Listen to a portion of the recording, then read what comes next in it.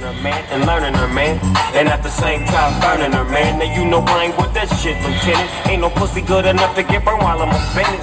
And that's realer than real deal, feel. And now you hitters and hoes know how I feel.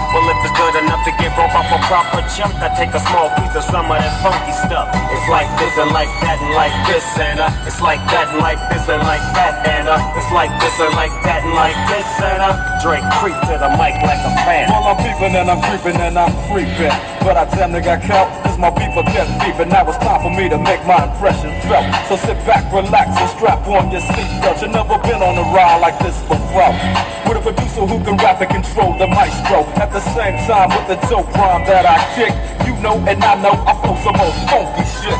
To add to my collection, this selection symbolizes dope. Take a toke, but don't choke. If you do, you have no clue of what me and my homie Snoop Dogg came to do. It's like this and like that and like this and uh, it's like that and like this and like that and uh, it's like this. And who gives a fuck about those? So just chill to the next.